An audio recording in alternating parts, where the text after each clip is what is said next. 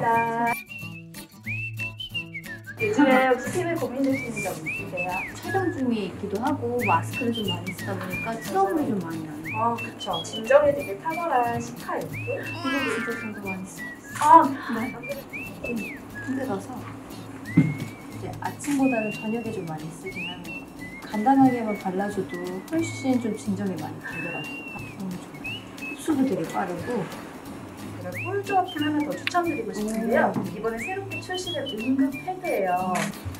약간 각질 제거용으로 하기에는 약간 이 도돌도돌한 네. 걸 하면 되고 네, 맞아요. 그냥 붙여놨을 때는 조금 네. 더 부드러운 맞아요. 아무래도 저희 제품 많이 사용하고 계셔서 아, 잘 알고 있어요. 네, 잘 알고 계시는데 꿀 조합 템으로 추천드려요. 알겠습니다. 한번 오늘 집에 가서 써봐야겠어요.